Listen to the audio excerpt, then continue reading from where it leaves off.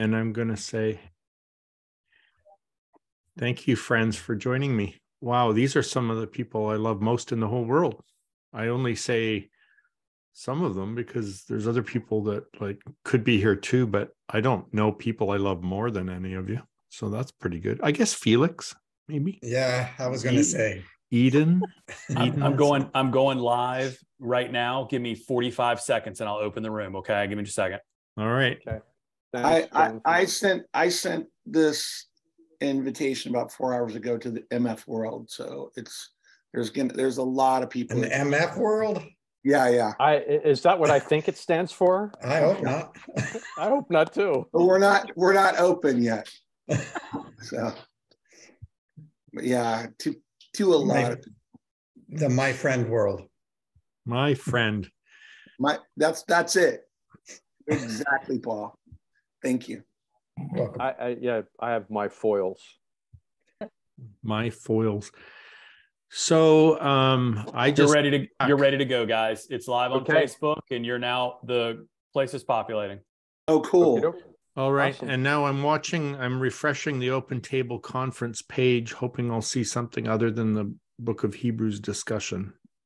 Um but I'm not so far. Yeah, I'm not me grab my troubled by that. Well, John, you want to just start then? I will. I'm just going to give a few minutes for people to populate. Hi, populators of the world. Welcome here. John, can we come up with a different word, like you know, for the for everyone to join us or something? Because I feel like people are gonna mishear that word from time to time. Populate.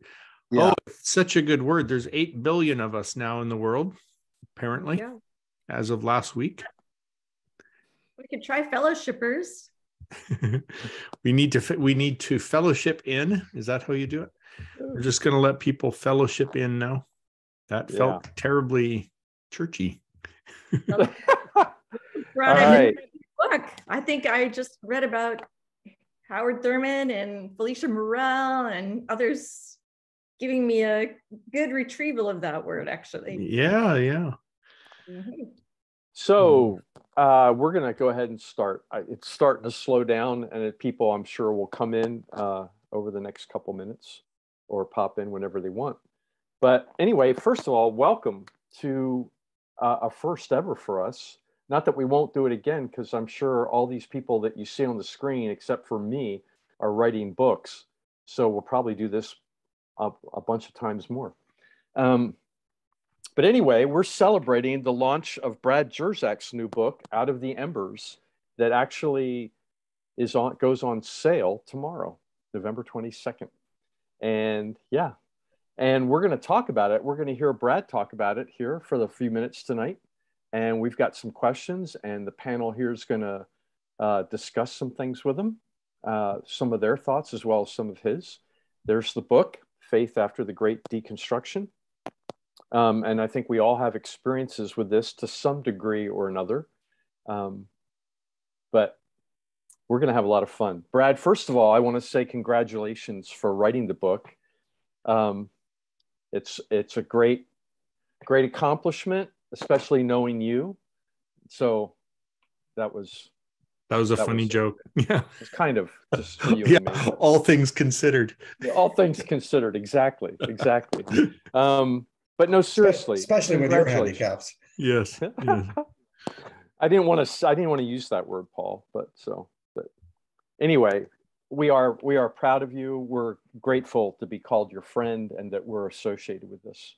Um, so, anyway, let's just get going. I want to ask you a couple questions, and the first one is pretty simple and straightforward, and that's just uh, professionally as a theologian and a writer, but then also personally what motivated you to write this book this particular book Yeah, that's an excellent question. I, it's actually uh, I I'm not a pastor, but I would say it's primarily a pastoral concern for me, and that is that I saw folks who were um, going through different types of deconstruction. There's such a range from voluntary to involuntary, and from liberation to trauma, and um, and I recognize that that such a big movement it's become a movement now i think an era uh, requires some response. And um, i wasn't satisfied with some of the responses. So for example on the one side i felt like a real pastoral concern wherever the hand-wringing pastors were were labeling deconstruction as just backsliding and really worrying about it and and even then condemning people. And i'm like no no this is the faith. This is our tradition that we that we ask hard questions and that we let go of old ways of thinking and that we enter dark nights of the soul. And so i i i felt like um like from sort of that quarter there was a lot of pressure on people. And and i wanted to, to say no what you're doing is right. It's good.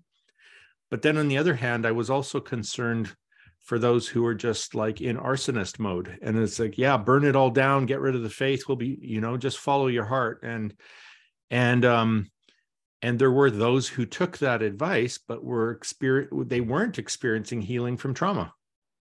And they're like wait a minute. I i left the church but then i lost jesus i lost love i lost meaning. And so so i i felt like the cheerleading and the pom poms that were being waved for the deconstructionists were that wasn't working for the ones who were feeling alienated.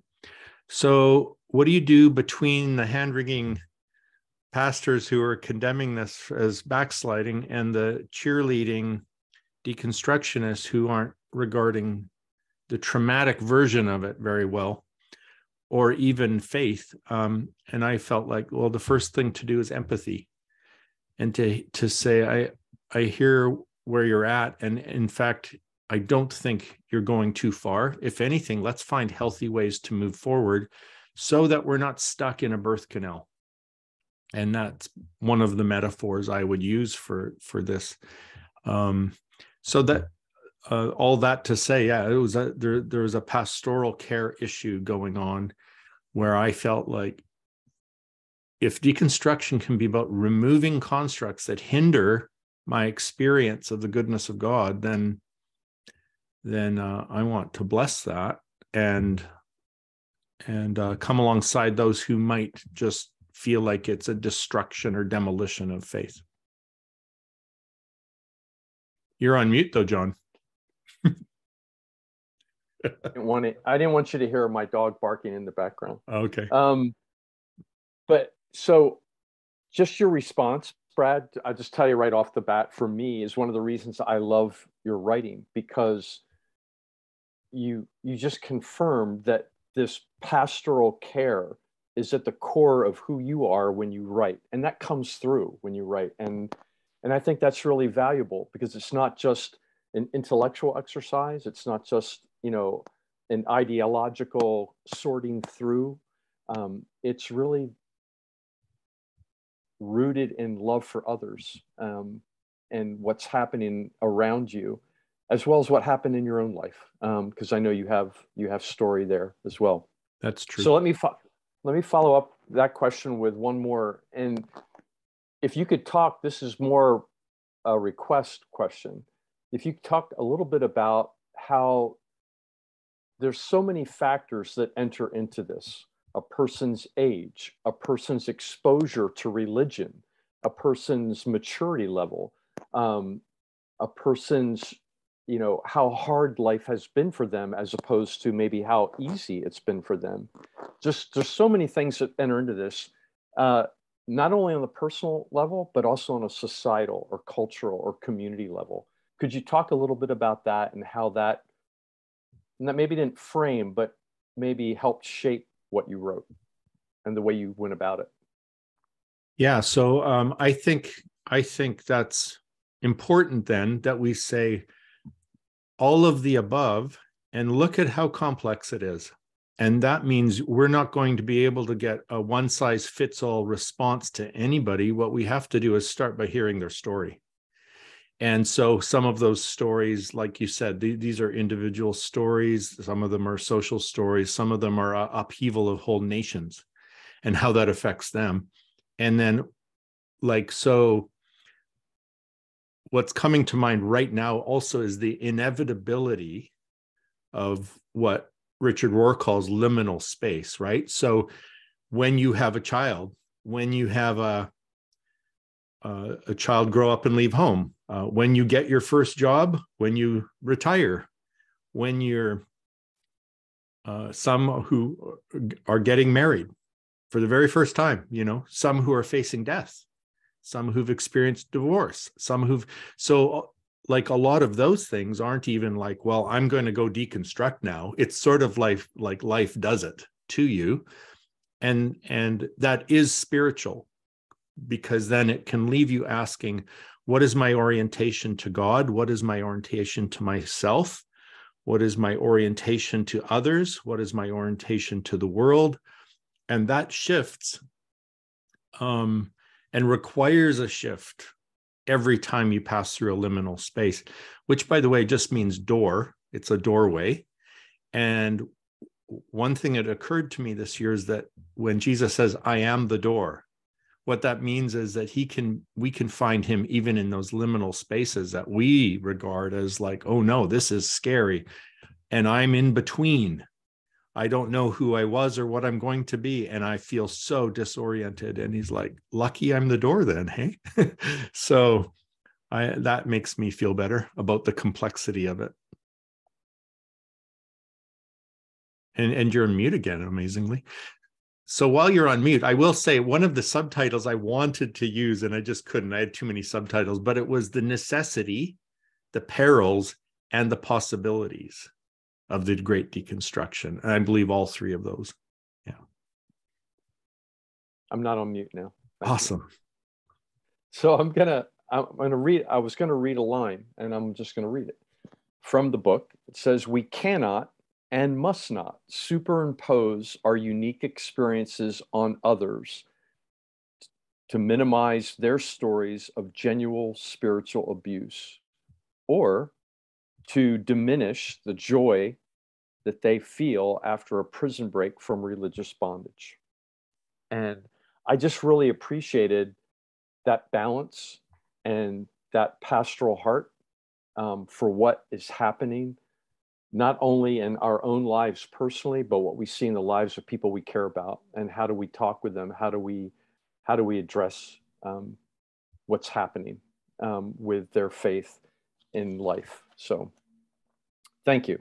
Thanks, so I'm going to open it up. Yeah, absolutely. I thank you.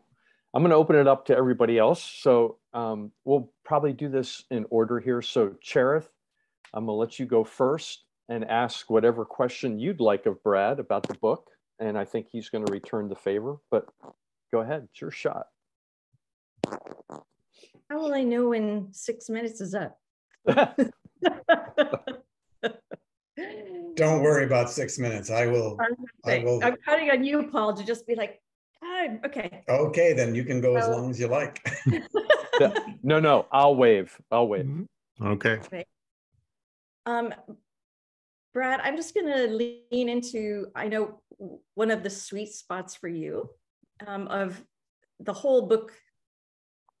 The whole book made me laugh and cry and stop and walk and stare out the window and think and pray and all those many things. I don't think it's done its work on me yet, but just the first reading um, was that, and then the refresher today.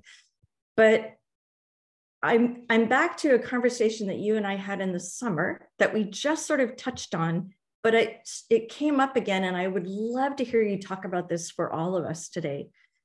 And that is, um, you and I were talking in the summer about the challenge that I was having with the language of the cross instead of the crucified Lord. And you were helping me to see that image as holding the whole of his life and the whole of the passion and his whole life as the passion. But knowing where I'm struggling and coming into more wholeness, that cross without a body on it was problematic for me. So um, I would love to hear you talk about that.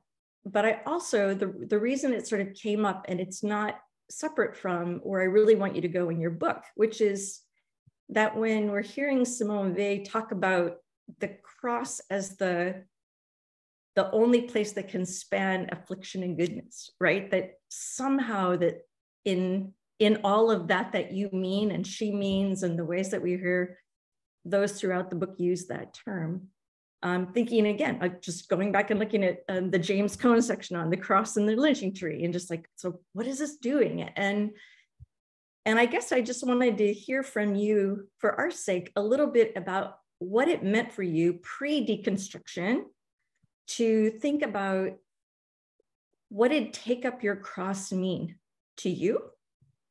And then how that has been so reconfigured through all of this because it it was the place of great hope really for me leaving the end of the book was this is a real invitation and it's an invitation outside the gates outside the city um, where my white privilege has never taught me ever to expect to to be transformed in the ways that actually give me my humanity back. So i just would love for you to talk about taking up your cross before and after and how the cross signifies all the things that matter most to you.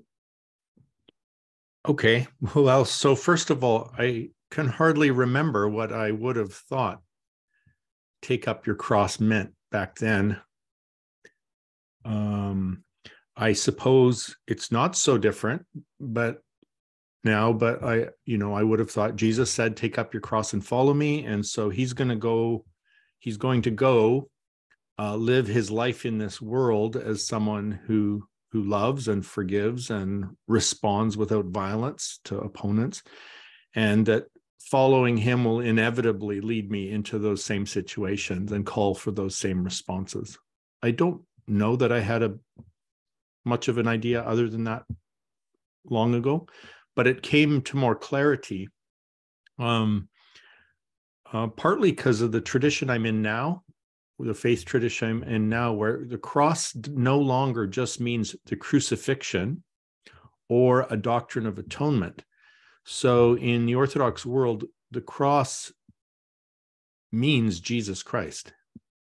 The cross encompasses both his death and his resurrection. Um, I don't even see the wood on the cross anymore. I see the one standing there with his arms open to me, and I see the wounds in his hands, and I see how everyone is within his arm span. There's no one when when Isaiah says like his arm is not too short to save. that means that the timeline of the human race and all its afflictions um, come together between the two those two wounds those two wounded hands and they pass right through his heart and so for me then um, um, the the cross then becomes a symbol of it well i i also identify it completely as the tree of life who is is jesus.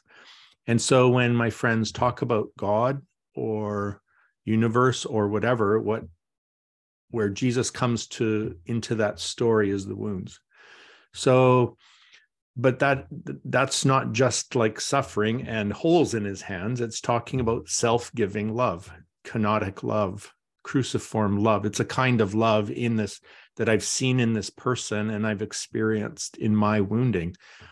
So, you know, it strikes me that especially those who've experienced powerful affliction, uh, Simone Weil, she would talk about like the, the deep impact of trauma is like a hammer. And the worse it is, the deeper it nails you into the heart of Christ. and and then i'm like okay well then i don't know that much but i know that the afflicted people i know of have experienced uh, divine love in their affliction. So just one more thing. In the book i talk about different ways or orientations to connect. Talk about the via negativa via positiva via um, uh, creativa and the via active, activa. I would now add the the via afflictiva and that is in our afflictions we have someone who can empathize with us and and um to to take up the cross then might might mean something like that that I join him in that work of empathy in this world or something like that co-suffering love um you know with with the folks who were murdered in the club yesterday and the the women in Iran and and uh, all of that if I can just make it not just trauma and suffering but somehow co-suffering love that where the wounds of Jesus release something into the world that can redeem. So, yeah. Now I have a question for you. well, can I say one more thing just to say thank you to you? You're welcome. I, mean... I, I also want to thank you that that one of the things that was really meaningful to me in reading this book, and I just have it like on my Christmas list for many people now, because of all the generations in my family and friends who will enter that book from really different places but they they need to know. And you're inviting them to know that the story that they're coming in with can be held between those arms on that cross of co-suffering love mm-hmm. and it struck me that as you were bringing in the seven sleepers and as we were revisiting and whether it was in actual history or novel or whatever, that most of what they were able to finally say that was truthful was either because it was coming out of their own suffering and or affliction or their willingness to actually not turn away and and i just feel like right now there's a, a level of conversation in the church that is the kind of i'm afraid to look to see it burn down but I'm also want to look away from everybody who lit the matches or what inside made them want to. And and I guess I just was so grateful for the the chance to actually listen well and to listen to the critiques, to listen to the pain, to listen to the hope um, by those that you chose to bring us into conversation with. And yeah, I've thought differently about every single one of their voices and writing and saw them sort of held between those arms with me as um, not figures to learn from, but people to stand with and realize that because we're not really good at self critique, that actually those are the places I need to stand closest. So just want to say thank you for doing that hard work for us and helping us be less afraid maybe of that work. So thanks. Thank you. Thank you. Um, so Cherith, you and I have talked a lot about, you know, how you, you deconstructed with the help of your dad um, of blessed memory, um, the the um, a Gnostic vision of humanity. Um, I didn't warn you I was going to ask you this part. I'm wondering. So, so for listeners, you know, the Gnostic version of humanity is very anti-body it's really dualistic between body and soul and there's a almost a, a rejection of of our our bodily humanity and and you saw how things like um, purity culture played into that for example and how you regarded yourself especially when being objectified. I'm wondering though what um, how that changed your view of God. Um, what was decons what constructs what not and it doesn't have to be the gnostic ones but specifically you don't see god the way you used to. And so what's changed well just front and center the incarnation um, and that's not an idea i mean I grew up really loving God the Father because I trusted God the Father because I trusted my father. And I trusted the love that my father knew from his father in heaven.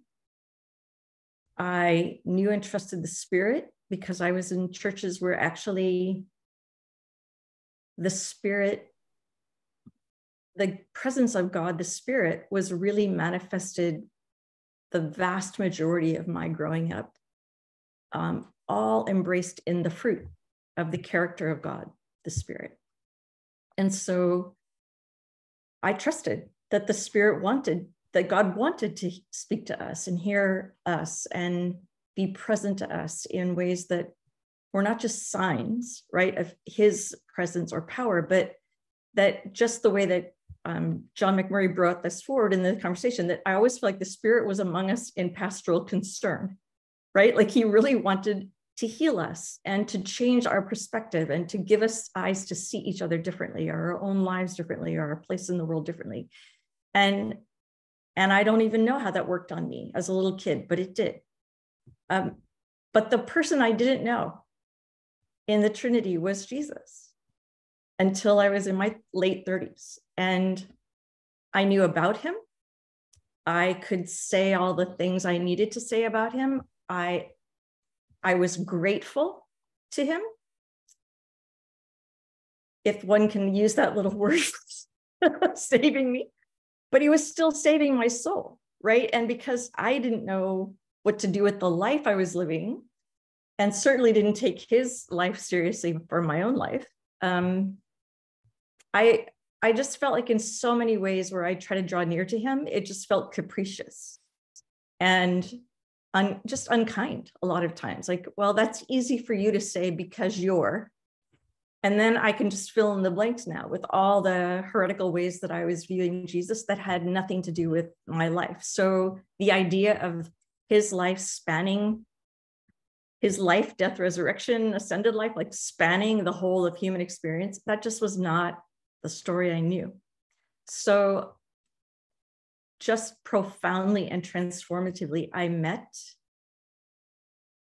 um, Jesus of Nazareth as this God man and began to watch his life as the life that I knew growing up, which was one who knew themselves loved by the Father and wanted to live in love and the pleasure of the Father's will, and that was who was functioning in the life and power of the Spirit.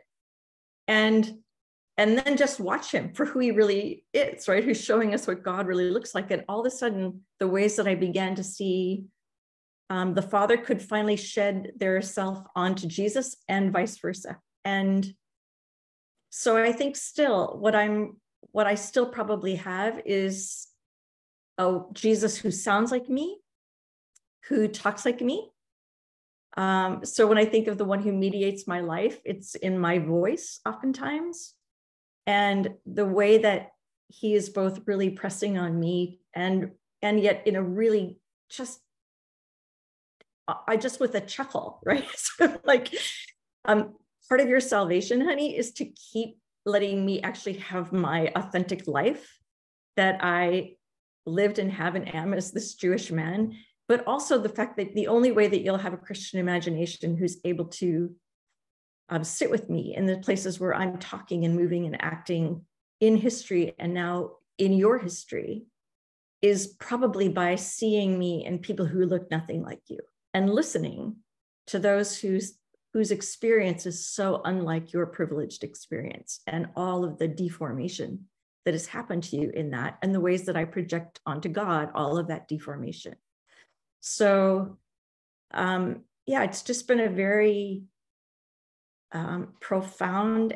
I'm just, I don't think I sing like love songs to Jesus in the kind of sentimental high schooly love songs, but but I I can say now in a very different way that I I love Jesus not just as a brother. There I am in capital love. I'm just so caught up in the love that he is in my flesh. And it's changed my life.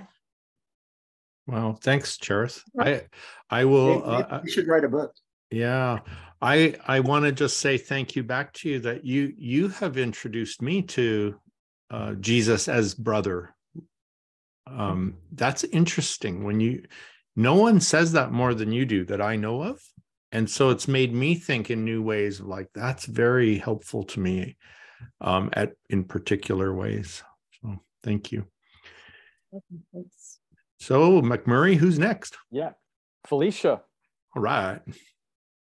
Felicia go ahead.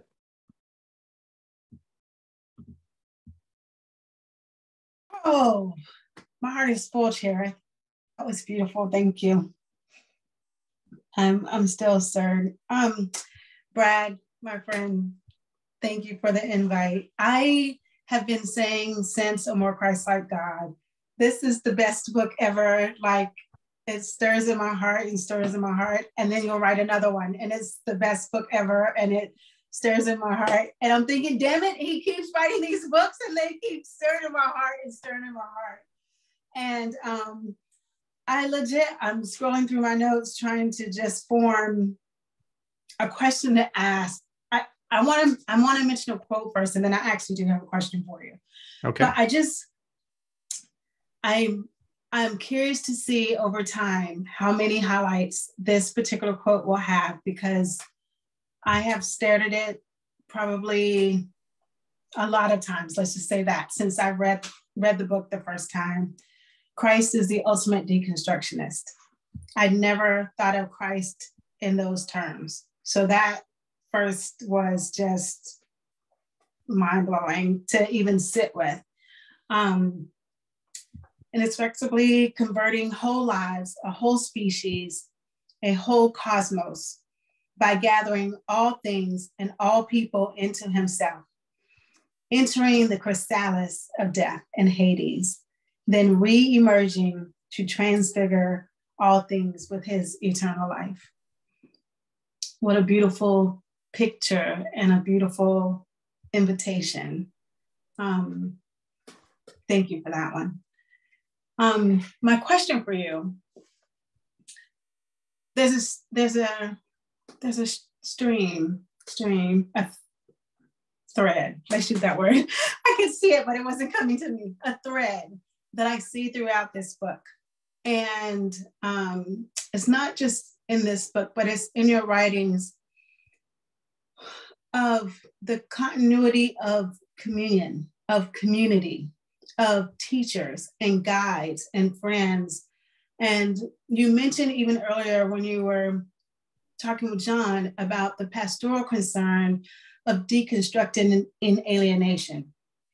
And um, one of the things that you talk often of the people that you walk with, um, your spiritual directors, the people that you converse with, and that. And so I would love to kind of form a question around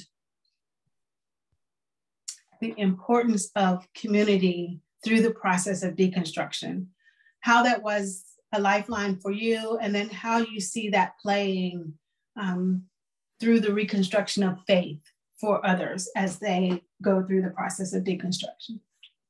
Thanks, Felicia. By the way, I had the best gossip session about you today. It's like someone was saying, Are you working with her more now? I'm like, I sure hope so. They're like, Oh, she's awesome. You know, so and hi from the folks at Hope for Life in Miami to all of you guys.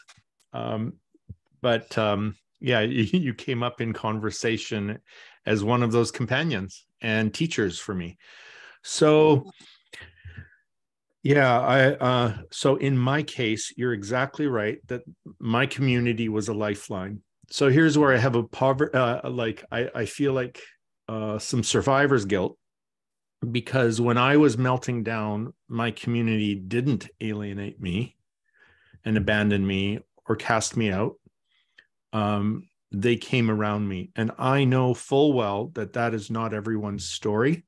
So, my commitment to this idea of presence in communion is, is both a very deep gratitude, but also a terrible sorrow for when I mm-hmm. see those who experience alienation instead of communion. And those words now have have come what those words mean to me now is what I think Jesus means in the Gospel of John by perishing and eternal life.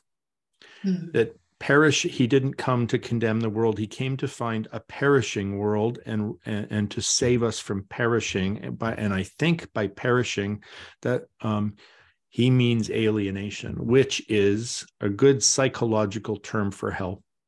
And then he doesn't come to say, well, when you die, um, you'll go to heaven someday. That's not eternal life to him. Eternal life is to know him and his father and to be in communion uh, with as beloved children and brothers and sisters who commune with each other. So I just see this the importance of a, a trajectory, um, not just from old constructs to no constructs, but from alienation that can happen inside our constructs or even after we fled them. And so I'm watching these poor folks who've been like experienced spiritual abuse, for example, in a in a faith community they must leave.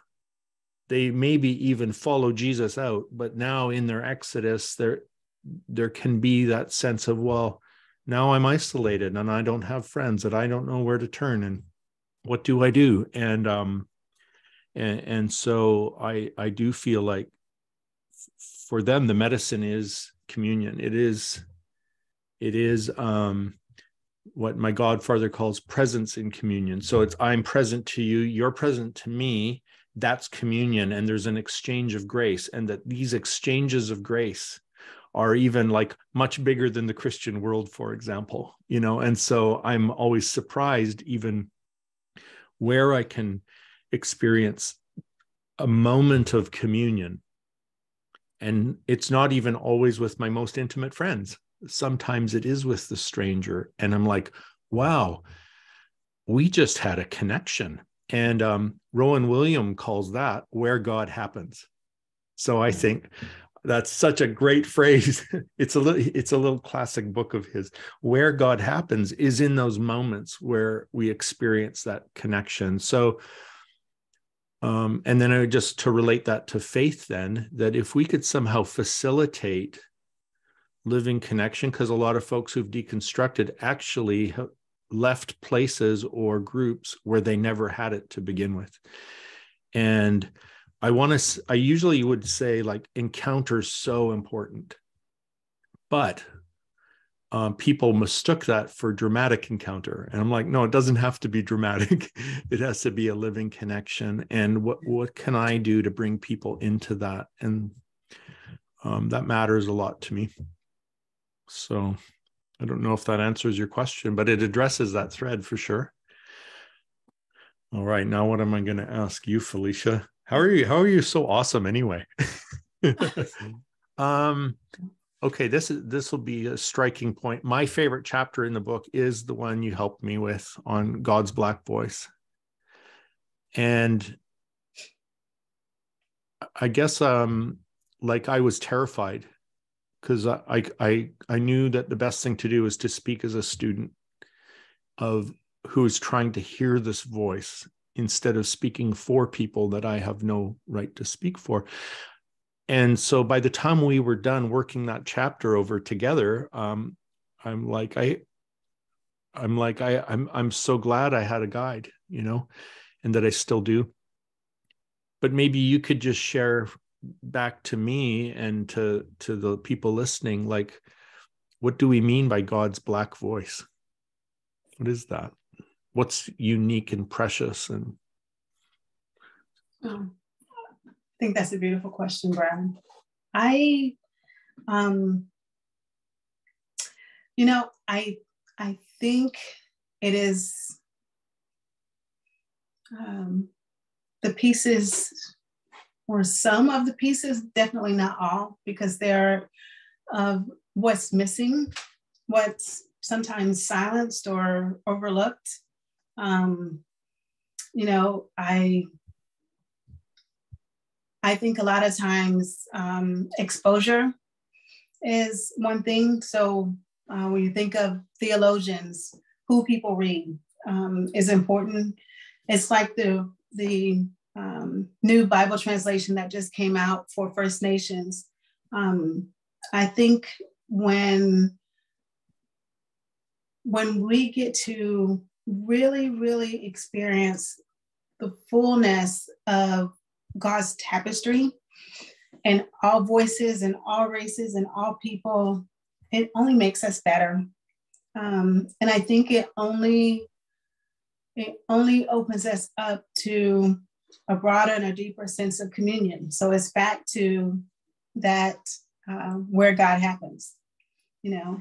And I felt like not just in that chapter, but also in the other stories that you told of the ladies that um, this was God happening. And you could see that over and over again. And I think so many times, uh, particularly if you've been raised in with Christianity as your, um, you know, your faith tradition, you're used to the box of this being the only place, this being institutional church, the only place where God can happen. And um, like Cherith was saying earlier, you're you're not looking you're not looking to see god. And it reminds me of Merton standing on the corner in louisville kentucky.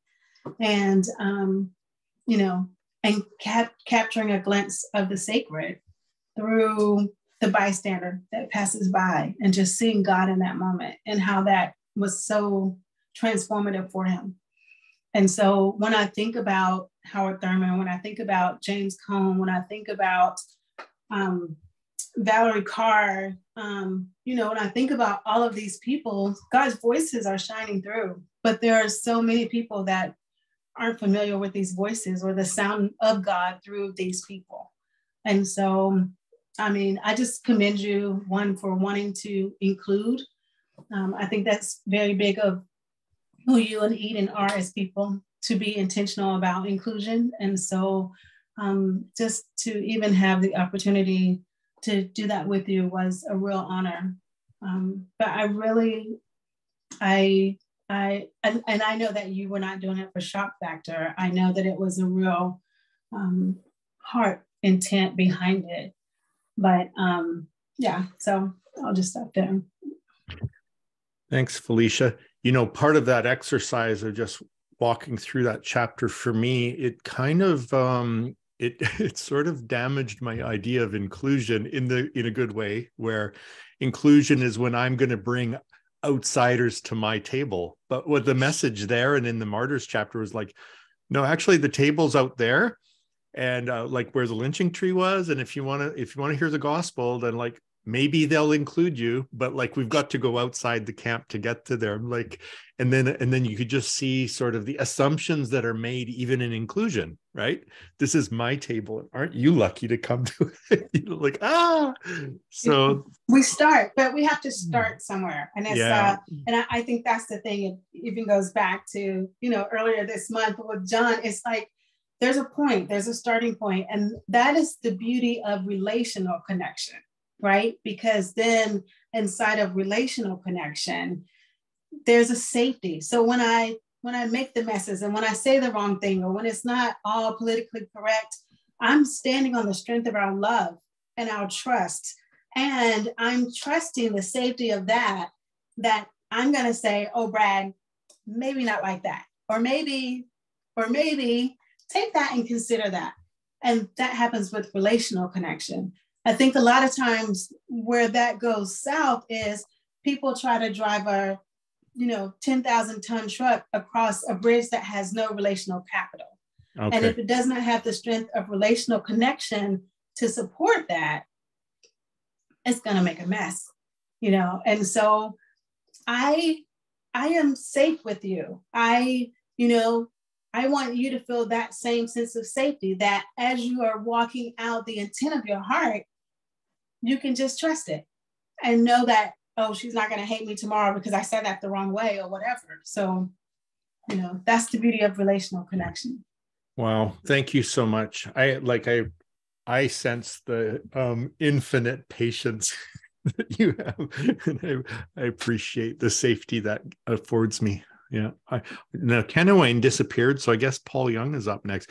Kenneth wasn't scheduled to be one of the talkers, but since um Brian Zahnd is having his memorial service with for his mom tonight, or I mean the viewing, he couldn't be with us. So I don't know if there'll be time, but Paul's up next, I guess.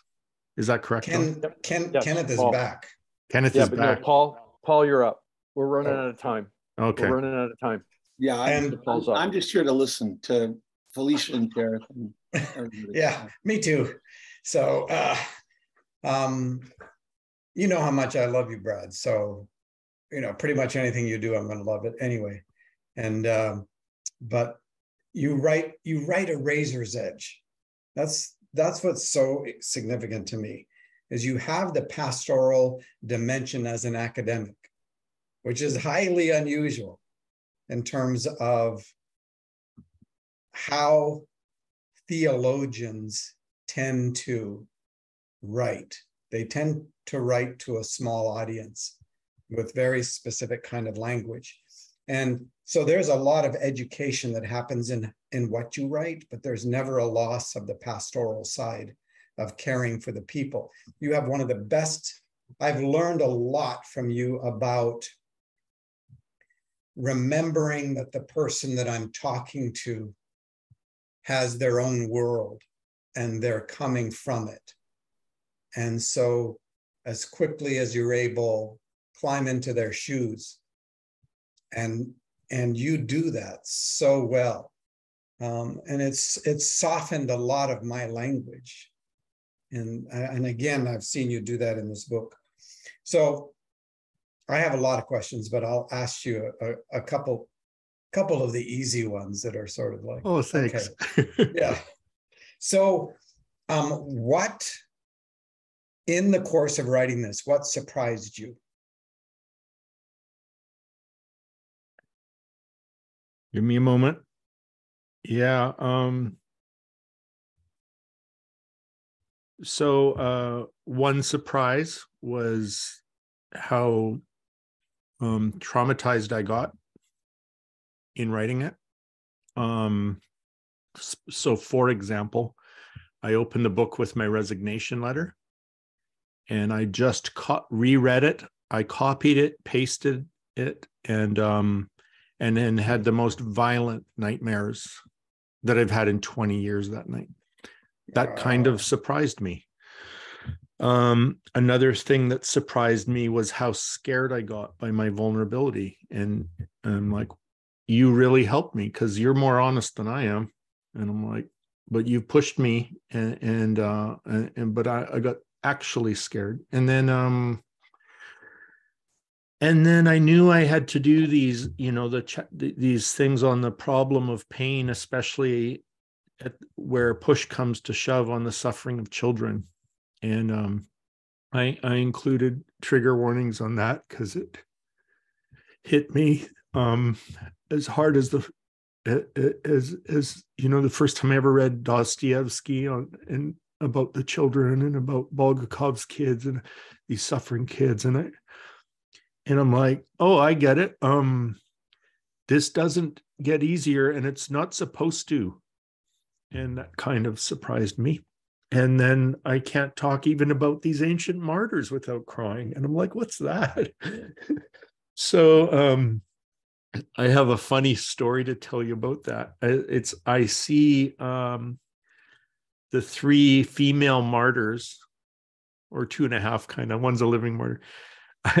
I saw them, and and their arms are outstretched in the cruciform, and they look me in the eyes, and they go, "Deconstruct this, bitch." like that's what I that was an experience I had. And that really surprised me. I mean, it was a profound experience. It wasn't making something up. It's what I heard in my head.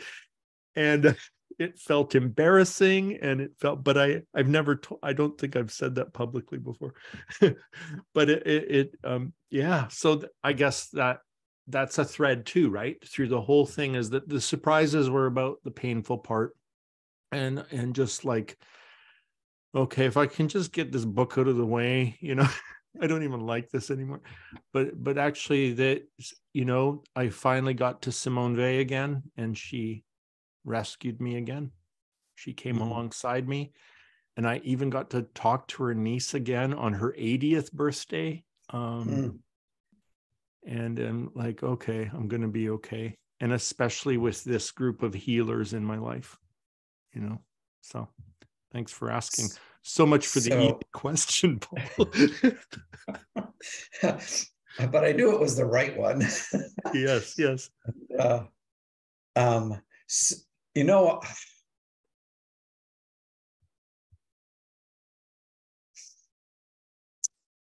i it was the question that came to mind and uh, i'm very grateful to the holy spirit that that was a question that came to mind because you suddenly have taken me too. You've taken this out of a shelf of books and you've put human skin on it just in terms of this response. And uh, i'm grateful for that. I'm really grateful for that. Um, because it's it's more than just a word. It's an incarnate word right and so for those who have the honor of like me of being here in this moment it's really a holy ground kind of thing. And uh, but i'm also thrilled to hear that it wasn't just that clash of history and the harm and the work that you had to do to get out of it but the comfort that was Mhm. also there. Yeah Mhm. Mhm. I will never see those saints the same way. It reminds me of you know jason upton's uh, son sam he's in university now but when he was like a toddler sucking his thumb and he pulled the thumb out of the side of his mouth one time when his dad was playing and he um he pointed at the theology books in the top shelf he said dad do you think if we took those books down and threw them in the air do you think they could fly and that became this metaphor for us about you know what what does it take for a theology book to take you know to take to, wings. to take wings you know Mm. so did you have another question or is it my turn It takes becoming flesh. yeah It does. cheers Yeah. Um, uh, yeah, I told you I have a bunch of questions, but ask yours, and then if I don't like it, I'll go back to one of mine. Okay, mine's a pretty simple one. Um, I started thinking today about you and and that like your book "Lies We Believe About God." That's a deconstruction book. So It is. every lie is a construct, and and by addressing those lies, you're deconstructing, and every every construct you removed brought us closer to the the truth of who God is, and and and um, so maybe um, my question could be: Is there is there one lie that you really see that's operative that you would most love to help people discard? Yeah, separation. Ah, good. Right. You know the distinction between separation and alienation. Hmm. You know that ontologically you can't be separated. I was just talking, Felicia, to some of our friends in the UK that you made that connection for, and spent a couple hours with your friend, and, uh, today, and and the struggle with the scripture was largely to do with the distinction between the reality that we can never be separated right? That love is based on knowing. And there is no one who knows us with the love of the father like like the father son and holy spirit so it is perfect complete and pure and then that love will never leave me or forsake me as I journey through the alienation, which is in my life, right? And uh, which has been dealt to me because of some of the theology and some of the trauma and some of the experiences.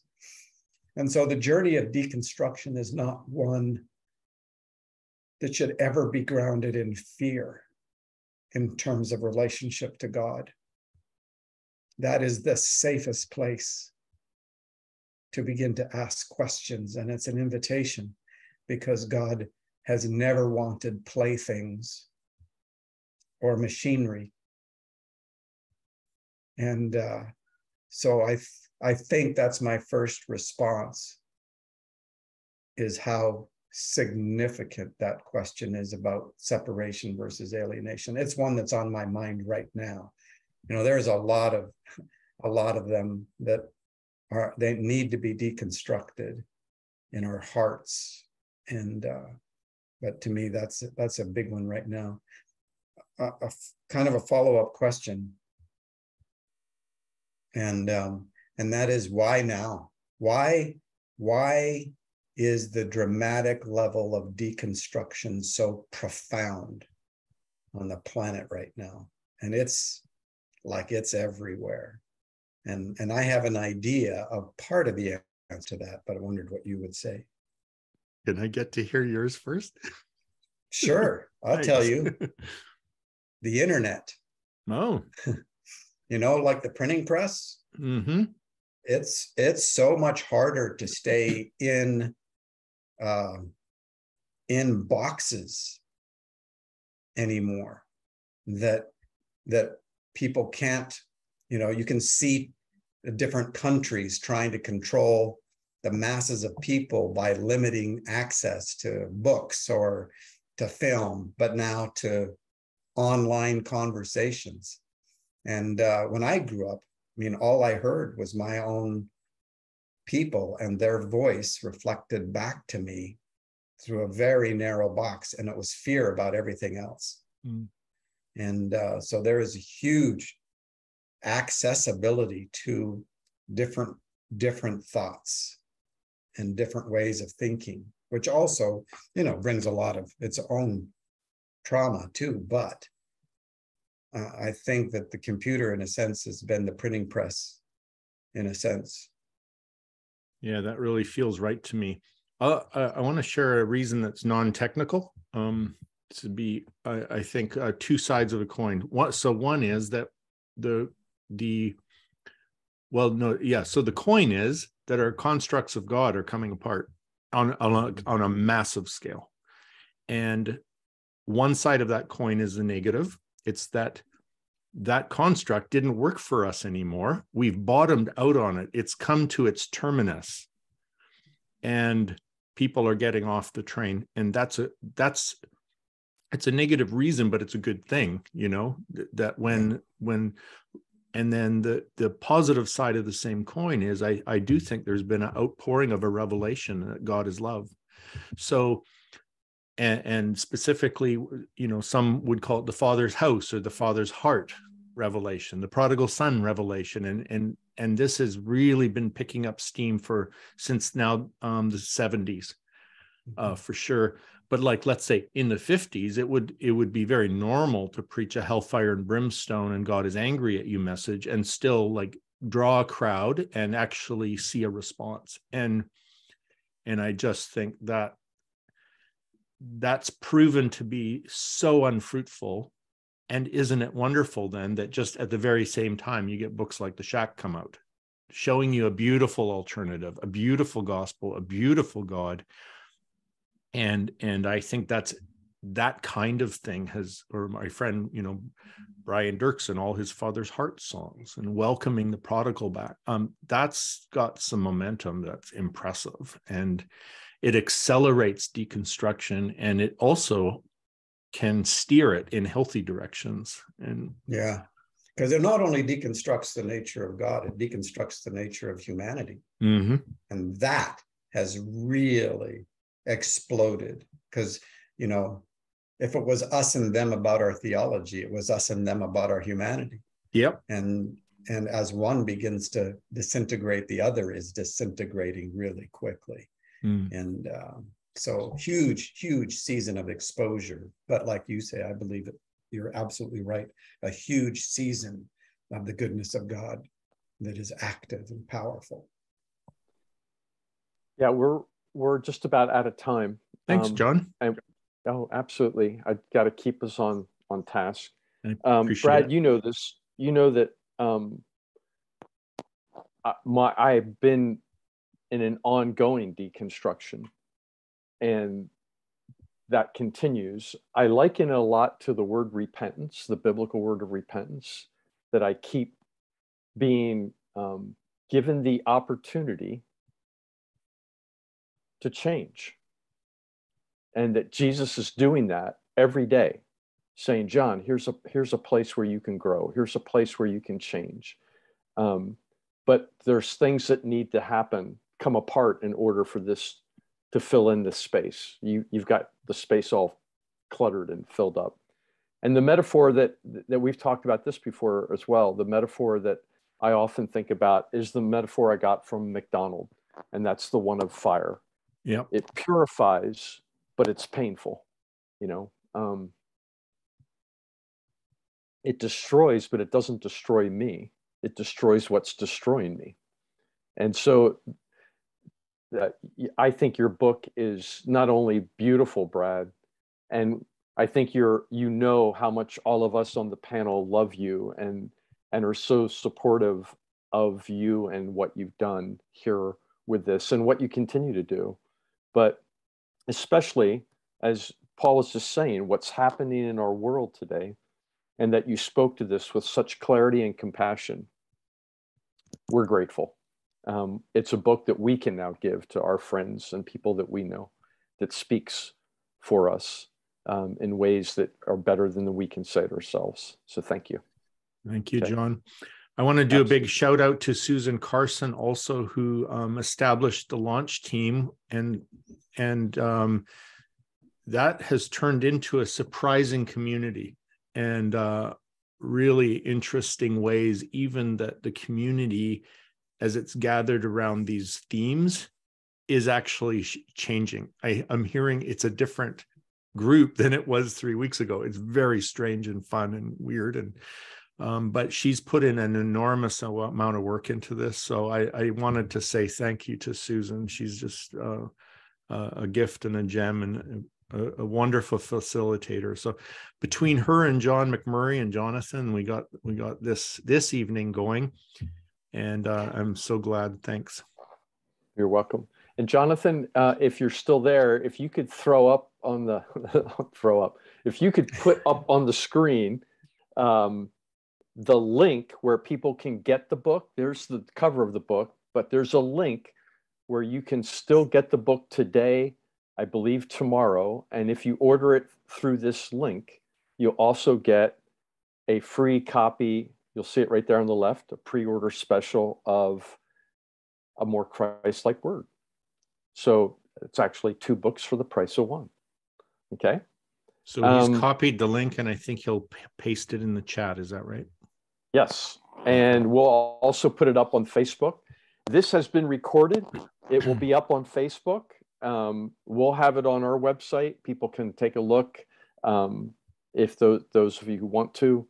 Um, but we would encourage you to, uh, I think someone already said it in the chat, Christmas gifts, exclamation point, Brad's book. Get a whole box, man.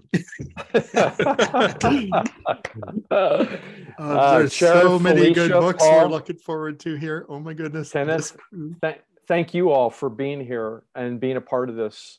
Um, I know you're all different schedules and different times, but thank you so much.